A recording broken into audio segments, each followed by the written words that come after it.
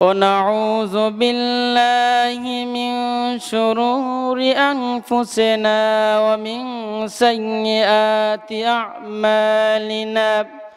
من يهده الله فلا مضل له ومن يضلله فلا هادي له.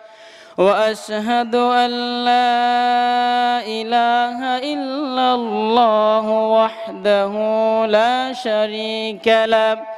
وأشهد أن محمدا عبده ورسوله. أما بعد فإن خير الحديث كتاب الله. وخير الحدي حدي محمد صلى الله عليه وسلم. وشر الأمور محدثاتها وكل محدثات بدعة وكل بدعة ضلالة وكل ضلالة في النار. فأعوذ بالله الشيطان الرجيم. بسم الله الرحمن الرحيم. تبارك الذي بيده الملك وهو على كل شيء قدير.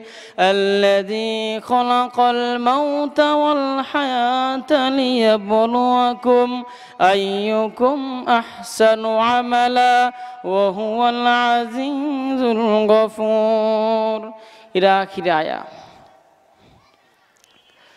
সম্মানিত উপস্থিতি আল্লাহ সুবাহ ওয়া তালার দরবারে লাখো কোটি শুকুর আদায় করি যে মহান রব্বুল আলমিন আজকে এই সুন্দর পরিবেশে বসার তৌফিক দান করেছেন সকল বিল আল্লাহ আমিন। দুর্দ সালাম বসিত হোক মানবতার মুক্তির দূত, সর্দারে কায়নাত, যার অক্লান্ত পরিশ্রমের ফলে আজকে আমরা এত সুন্দর ইসলাম দিনকে পেয়েছি। সবাই আমরা রসুল সাল্লাহ আলাইসাল্লামের প্রতি দূরত পাঠ করি আল্লাহ সাল্লি আল্লাহ বারিক আলাই সম্মানিত উপস্থিতি, সময় একবারই অল্প, তো এর ভিতরেই আল্লাহ সুবান ওয়াতাল্লাহ যদি আমাকে তৌফিক দান করেন যে মৃত্যুকে নিয়ে কিছু কথা বলার তৌফিক দান করেন অমা তৌফিক ইল্লা বিল্লা আলাইহি তাওয়াক্কাল তো আল্লাহি হনিব সম্মানিত উপস্থিতি, বর্তমান এই আধুনিক যুগে, বিজ্ঞানের যুগে একদম আপনাকে মৃত্যু সম্পর্কে বোঝা অনেক সহজ হবে। এই যে আল্লাহ সুবাহ মানুষকে সৃষ্টি করার পূর্বেই তিনি জানতেন সকলে মৃত্যুবরণ করতে হবে। একটা জিনিস তৈরি করার পূর্বেই যে ইঞ্জিনিয়ার যিনি সফটওয়্যার তৈরি করেন, যিনি কম্পিউটার তৈরি করেন, উনি তার পূর্বেই জানে অ্যাডভান্টেজ ডি অ্যাডভান্টেজটা কী রয়েছে, ওর ক্ষতিকারক কি, উপকারক কি। তো আল্লাহ সুবাহ গোটা গোটা সৃষ্টিকুলের যিনি সৃষ্টি করেছেন, যিনি রাজা, বাদশাহ, তার কোনো তুলনা হয় না। তিনি কি জানেন না যে মানুষ পৃথিবীতে কতদিন বেঁচে থাকবে? তাকে মৃত্যুবরণ করাই লাগবে। সম্মানিত উপস্থিতি, তাই আল্লাহ ওয়াতালা বলেন, সুরা মুলকের প্রথম আয়াতে আল্লাহ বলছেন হুয়া আলা কদির। আমি কি এই গোটা পৃথিবীর ভিতরে, পৃথিবীর মধ্যে যা কিছু রয়েছে, যা কিছু সৃষ্টি করেছি, তার একমাত্র মালিক হল আল্লাহ তাআলা। অতপর তিনি যে সৃষ্টি করেছেন, পৃথিবীর মধ্যে যত মানুষ সৃষ্টি করেছেন, তার ভিতরে যত জীব জন্তু সৃষ্টি করেছেন, তার ভিতরে সকল কিছু থেকে উত্তম জাতি হিসাবে মানুষকে সৃষ্টি করেছেন। তারপরে আল্লাহ সুবানা ওয়াতালা বলে দিলেন যে পৃথিবীর মানুষকে একদিন আল্লাহ তাআলার কাছে ফিরে যেতে হবে আল্লাহ ফিরে যেতে হবে। তেমনি ভাবে সকল প্রাণী, সকল পশু পাখি যিনি সৃষ্টি করেছেন, তিনি সৃষ্টি সৃষ্টিগুলোর মতিক, তার দিকেই ফিরে যেতে হবে। এজন্য আল্লাহ তাআলা পৃথিবীর মানুষকে সৃষ্টি করার পূর্বেই তিনি জানতেন, সকল মানুষকে মৃত্যুবরণ করা লাগবে। সম্মানিত উপস্থিতি, আল্লাহ সুবান ওয়াতালা যে এত সুন্দর করে মানুষকে বানালেন, আল্লাহ সুবান কেন মানুষকে বানালেন, এটা আল্লাহ সুবান বলে দিয়েছেন কোরআনুল কারিমে। সম্মানিত উপস্থিতি, মানুষকে আল্লাহ তাল্লাহ এত সুন্দর করে সৃষ্টি করলেন, পৃথিবীতে মানুষ আগে ছিল না যে জানতো না পৃথিবীতে আসবে কিনা, যে আল্লাহ সুবান মানুষকে সৃষ্টি করলেন, তিনি আবার পুনরায় তাদেরকে নিয়ে যাবেন, এটাই আল্লাহ তাল্লাহ বলার উদ্দেশ্য। সম্মানিত উপস্থিতি, মৃত্যু এত ভয়ানক এত কঠিন, এর বন্য যদি মানুষ জানতো, তাহলে আর মৃত্যু থেকে কেউ পলায়ন করার চেষ্টা করতো না। সম্মানিত উপস্থিতি, একটি গুড়ি যখন আপনি আকাশে উঠতে থাকে, তখন সে মনে করে, এই রাজত্ব, এই মালিকানা একমাত্র আমার কারণ আমি আকাশে উঠছি কে আমাকে নামাবে?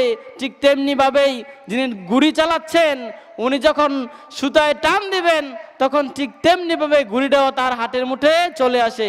সম্মানিত উপস্থিতি, এইভাবেই আল্লাহ সুবান পৃথিবীর সকল প্রাণীকুলকে সৃষ্টি করেছেন। যখন তার সময় হয়ে যাবে, যখন তার সময় শেষ হয়ে যাবে, তখন আল্লাহ সুবান তার কাছে নিয়ে যাবেন। এটা আল্লাহ সুবান ওয়াদা। সম্মানিত উপস্থিতি, পৃথিবীতে যারা নিজের ক্ষমতা নিয়ে, নিজের রাষ্ট্র নিয়ে, নিজের ক্ষমতাকে অহংকার করে এই সমাজ, এই রাষ্ট্র, যা কিছু রয়েছে, কোনো ক্ষমতার কোনো বাহাদুরি করা যাবে না, কোনো ক্ষমতার অহংকার করা যাবে না, কারণ আল্লাহ সুবাহ একমাত্র অহংকার করার যোগ্য রাখেন, পৃথিবীর কোনো মানুষ অহংকার করার যোগ্য রাখেন না। সম্মানিত উপস্থিতি, যিনি সৃষ্টি করেছেন, ওনার একমাত্র অহংকার করার পোশাক রয়েছে, কিন্তু পৃথিবীর কোনো মানুষ অহংকার করার সুযোগ নাই। সম্মানিত উপস্থিতি, আল্লাহ সুবানা ওয়াতালা যেমন গরিব সৃষ্টি করেছেন, তেমন ধনী বানিয়েছেন, অতএব একই রকম মানুষ, হয় সে গরিব, না হয় সে ধনী, এটাই পার্থক্য, কিন্তু কোনো অহংকার করার সুযোগ নাই। সম্মানিত উপস্থিতি, আল্লাহ সুবান ওয়াতালা পৃথিবীর মানুষকে যেভাবে সৃষ্টি করেছেন, একটা গরিব মানুষকেও সেভাবে সৃষ্টি করেছেন, একটা বড় লোককে যেভাবে সৃষ্টি করেছেন, সকালে সে ধনী, রাত্রে সে গরিব, রাত্রে সে ধনী, সকালে সে গরিব। কিন্তু এটা একমাত্র পদ্ধতি আল্লাহ সুবান তালার মাধ্যমে হয়ে থাকে। সম্মানিত উপস্থিতি, কোনো মানুষ যদি অহংকার করে, তার অহংকার পশুদকুটি করে, তাহলে আল্লাহ সুবান ওয়া তালা তাকে ধ্বংস করে দেবে। এটা আল্লাহর ওয়াদা। সম্মানিত উপস্থিতি, কোনো কিছু করার পূর্বেই জানা লাগবে, কোনো কিছু করার পূর্বেই বোঝা লাগবে, এই ডিঅ্যাডভান্টেজ আর অ্যাডভান্টেজটা কি, ক্ষতিকারক জিনিস কি, উপকারী জিনিস কি, এটা আল্লাহ সুবাহ দিয়ে দিয়েছেন।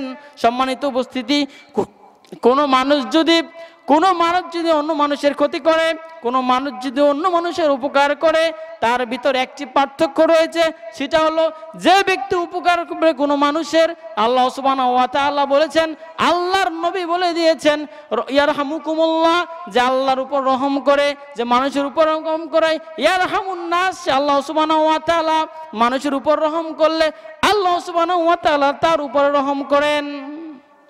সম্মানিত উপস্থিতি কাজে মৃত্যু যেখানে আপনি থাকেন না কেন, মৃত্যু আপনাকে ধরবেই।